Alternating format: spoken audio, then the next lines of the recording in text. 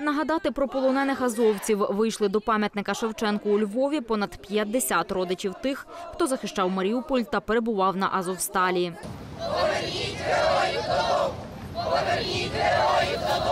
Вони вигукують гасла та тримають у руках плакати із вимогами звільнити своїх синів, чоловіків та батьків із російського полону. Світлана із двома дітьми чекає повернення із полону свого чоловіка Олександра. 18 травня з Азовсталі він казав, що ми виходимо, евакуюємось.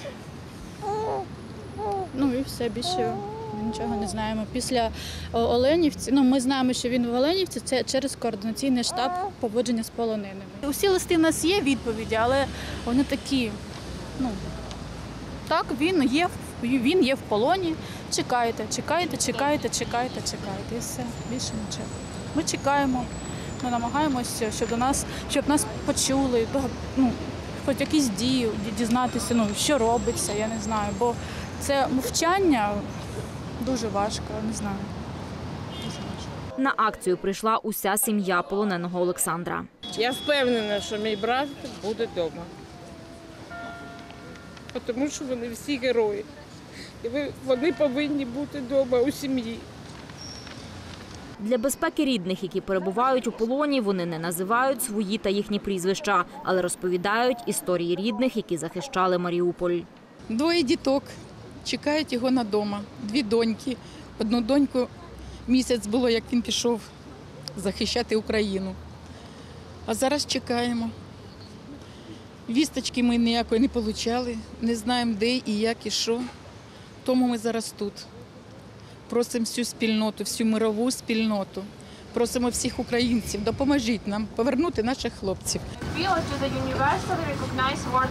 У центрі Львова рідні полонених зачитали звернення українською та англійською до генсека ООН Антоніо Гутерреша та президентів України та Туреччини Володимира Зеленського і Таїпа Реджепа Ардогана. просимо про допомогу у справі звільнення наших рідних. Ми, зокрема, просимо вплинути на керівництво Федерації та змусити його дотримуватись норм міжнародного гуманітарного права. Ми звертаємося до місії ООН, щоб вони розширили свою місію і дали можливість все-таки Червоному Христу своєї місії. От щоб їх допустили до наших рідних. Також ми звертаємося до президента Ердогана і, зрештою, до пана Гутієріша, щоб вони виступили в переговорному процесі. Ми сподіваємося, що вони можуть взяти активну участь і допомогти у переговорному процесі українській владі щодо звільнення українських військовослужбовців. Через дипломатів документ, який зачитали у центрі Львова, мають передати посадовцям. Ірина Мочульська, Роман Гнатишин. Новини на Суспільному. Львів.